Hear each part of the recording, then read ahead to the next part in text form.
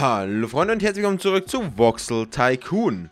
Ja, wir haben in den letzten Folgen, haben wir hier so ein bisschen die Schienensysteme aktualisiert und verbessert. Was ich mich heute gerne dran setzen würde, ist das hier zu einem richtigen Holzumschlagplatz für alles zu machen. Also wirklich alles. Wir werden hier jetzt planieren anfangen und dann sozusagen den ganzen Holzaustausch, wie wir es hier gemacht haben, dass du hier drin die Produktion hast, nach der Innen verlegen, weil das ist eh alles hier eigentlich angeschlossen. Dann können wir das abreißen anfangen. Und wir haben ja hier die Latten eigentlich produziert. Dann werden die Latten von da oben nach verteilt, genauso wie hierher gefahren mit dem Zug. Und wir haben eine genug große Produktion. Außerdem können wir uns das leisten, weil wir haben eine gute Produktion mittlerweile. Und von daher würde ich sagen, ist das gar nicht mal so doof. Wir ebnen jetzt hier erstmal das Gebiet aus. Und ja, wir ebnen wirklich fast alles. Also der ganze Bahnhofsbereich wird ausgeebnet. Oder wann das ist tiefer, ne? Der Bahnhof ist ja tiefer. Kann ich rein theoretisch... Das interessiert mich gerade noch.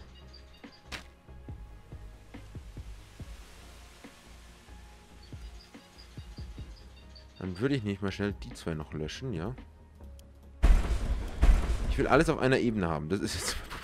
Ich will das ordentlich machen.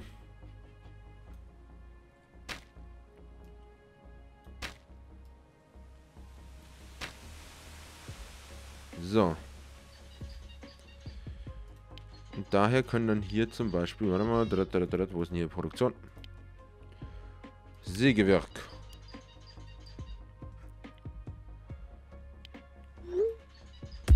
Und jetzt testen wir gleich mal, wie es mit dem Anschließen ist. Verbinder. Der funktioniert da perfekt. Dann können wir gleich noch ein paar Sägewerke platzieren, so.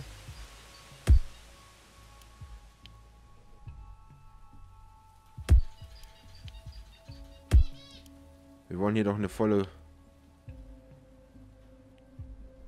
Okay, bis hierhin ist dann das geeignete Vorkommen sozusagen. Mhm. Dann werden wir hier gleich mal einen Anschluss machen. Ein paar Verbinder setzen. Wie die genau sitzen, ist jetzt tendenziell eigentlich wurscht. Und Förderbänder hier erstmal anschließen.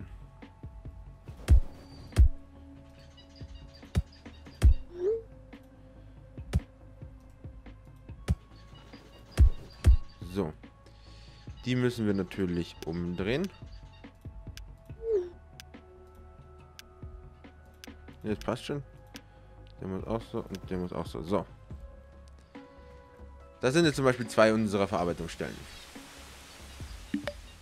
Ich will hier dann Lagerplätze haben. Bedeutet, wir brauchen hier Lagerhäuser, und zwar große.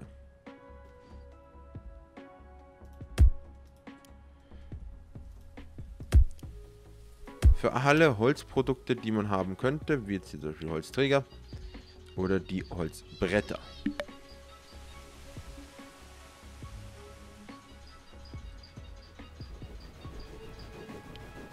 Und wenn wir jetzt dann zum Beispiel wieder hier auf Holz... Wo waren die Holzproduktion?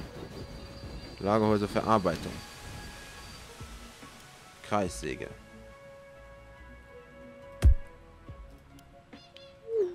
Jetzt haben wir zum Beispiel die zwei Kreissägen. Was war das für ein Haus? Das war das für die Stempten hier.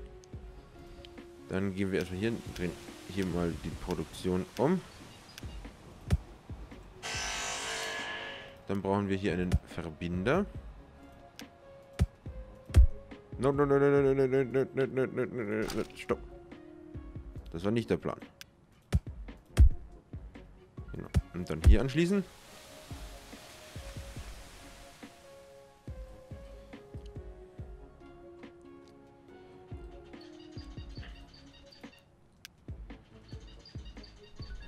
Und logischerweise produzieren jetzt die beiden hier uns natürlich die schönen Träger. Die Träger kommen dann hier rein, können dann hier gelagert werden und sollen dann per Zug hier abgeholt werden. Was ich jetzt gerade überlege, ist, ob wir dann nicht vielleicht euch beide nach hier oben rausziehen. Die Flow-Richtung hier mal umdrehen. Und dann reißen wir das hier ab und dann können wir hier noch ein paar hinsetzen. Das ist, wenn wir die hier so hin verteilen, das hier fließt es hier rein, die verteilen sich hier drum und gehen dann hier rein. Ich glaube, das ist gar nicht doof.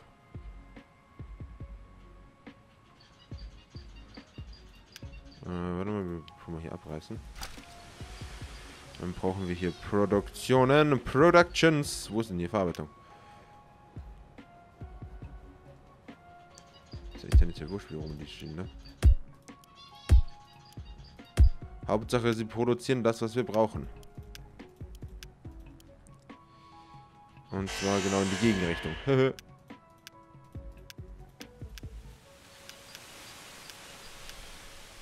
so.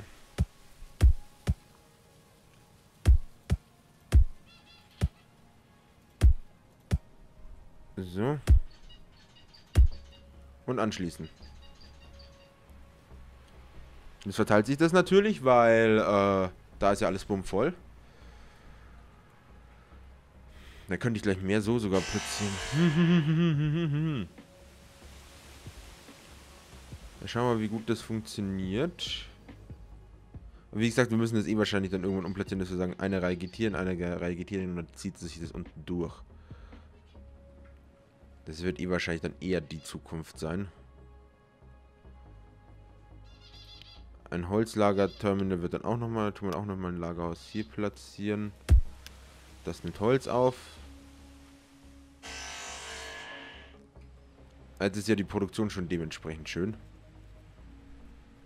Also sie hält sich gut auf jeden Fall am Laufen. Ein bisschen schneller geht sie wahrscheinlich noch. Da können wir wahrscheinlich aber dann noch hier ein das locker hinstellen, oder? Ja, perfekt. So wollen wir das. Umdrehen erstmal beide Richtungen. Anschließen. Anschließen. Und Holzträger. Perfekt. So wollen wir das. Dann haben wir alles lokal an einer Stelle stehen. Oder die Holzproduktion kommt direkt aus dem Holzlagern. Und nirgends anders her. Was es natürlich sehr produktiv macht, würde ich sagen. So, hier sind jetzt 30 noch drin, hier sind 29. Das Ding ist bumm leer. Das wird eher dann das Problem werden, dass die, La die Holzproduktion halt nicht ausreicht. Was ich jetzt zum Beispiel hier machen würde, ist, dass wir sagen, okay, Verarbeitung. Ähm. Nochmal hier anfangen. Kann man nicht irgendwie sagen, okay, warte mal, mit Alt, dass ich dann mehrfach mache mit Shift. Schön, das wollte ich. Perfekt. Natürlich jetzt genau in die Gegenrichtung. Zack, zack, zack, zack, zack. Zack, zack, zack, zack. Was wir jetzt aber machen, ist im Grunde Nope. Von hier nach da zu verteilen. Von hier nach... Na, da müssen wir aber auch... Von hier nach da verteilen. Und jetzt, müssen wir natürlich wieder umdrehen. Weil sind so ein paar Stückchen, die in die falsche Richtung gehen. So.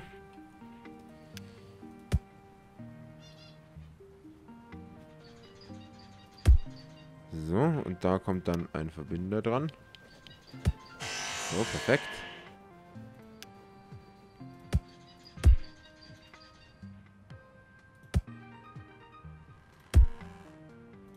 So. Und dann verteilt sich schlau auf die ganzen einzelnen Stellen. Und sollte hoffentlich die Produktion dementsprechend anpassen.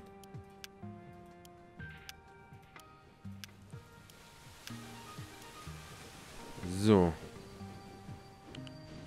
Hier sind wir schon voll.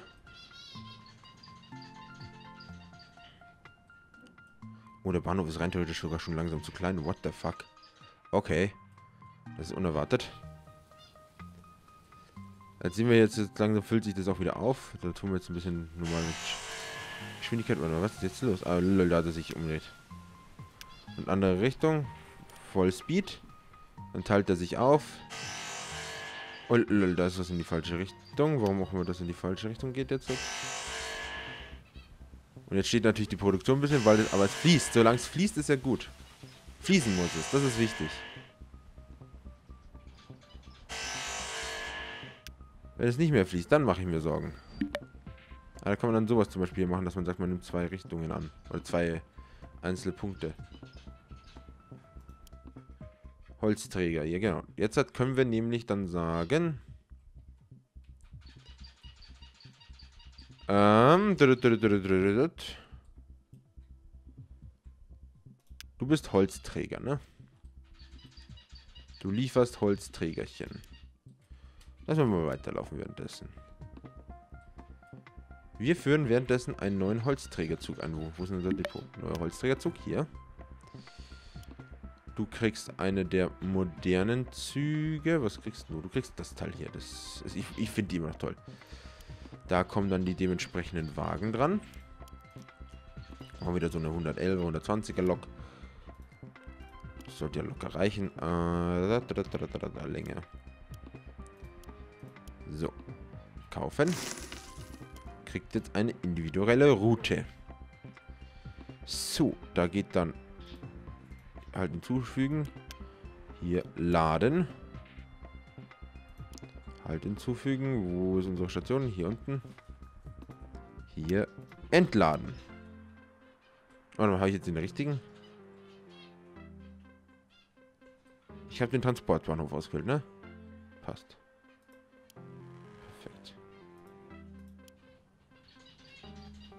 Ach ich kann mir sogar sagen, welches Gleis du was?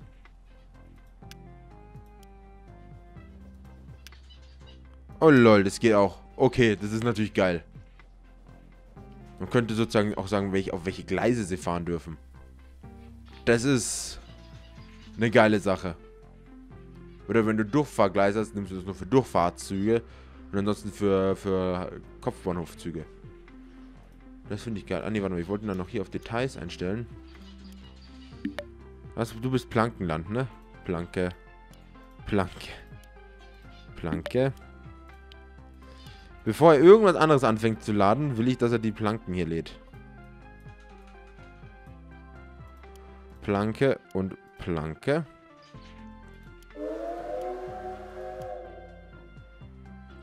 Holzrahmen nach Forschung. Okay, möglich.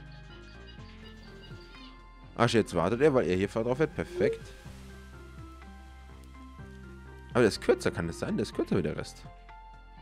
Sechs Waggons. Der hat acht Waggons. Okay. Ja, für, sonst geht dann das Depot zurück und wird nochmal aufgefüllt. Da kommt der Transportzug.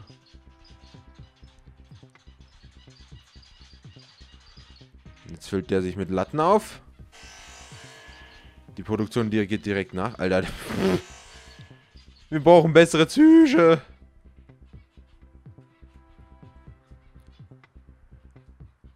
Der fährt jetzt dann aber hier rüber, ne? Ja, nice. Ab durch unseren Tunnel und da kommt der andere. Du, wir machen jetzt hier mal eine Umwandlung.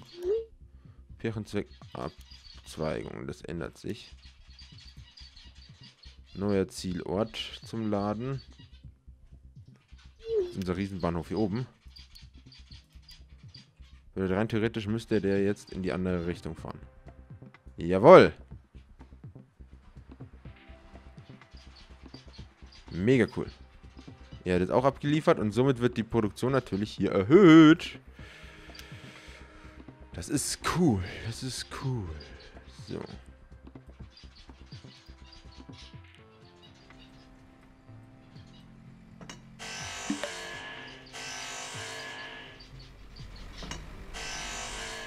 Das ist jetzt natürlich dann unnötig.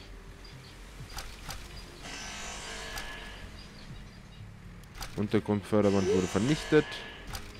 Wir reißen langsam alles ab. Wir sollen noch die letzten Reste hier verarbeiten.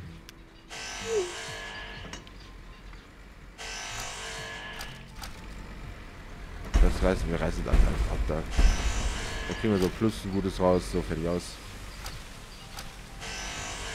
Die Latten hier braucht keiner mehr. 12.000 kriege ich da raus. Easy peasy lemon squeezy. Die soll er jetzt noch verkaufen schnell. Reißen wir den Rest auch ab.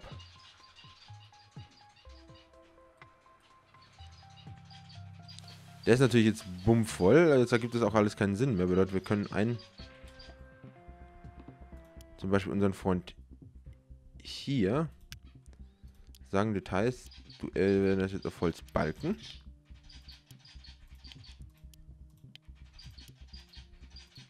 So. Und so können wir nicht langsam jetzt wirklich alles ändern. Und dann kriegt er hier eine individuelle Route. Halt hinzufügen. Du tust hier laden. Halt hinzufügen. Und hier entladen. Okay.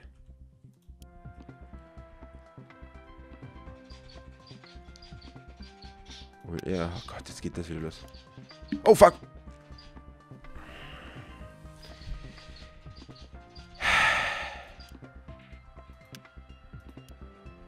Fug! Ich weiß nicht mal, welcher Passagierzug das jetzt war. Fuck. Oh no. Das war einer meiner Plankenzüge, kann das sein? Oh Gott, ich habe einen der Plankenzüge gerade vernichtet. Oh, uncool.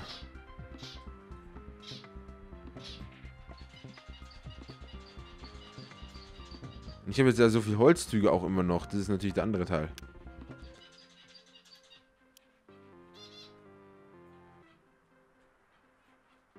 Wir müssen hier gucken, dass hier die Planken... Oh, im Lager sind immer... Ja, okay, das Lager ist immer noch bummvoll.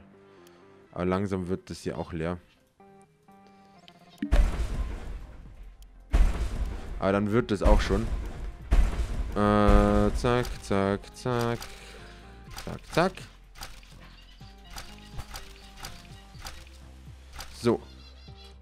Aber Leute, ich würde sagen, das war's für diese Folge. Ich hoffe, es gefallen. Wenn ja, lasst irgendwie einen Daumen nach oben da. Aber wenn ihr es noch nicht habt, und wir sehen uns in der nächsten Folge wieder. Also, bis dann. Ciao.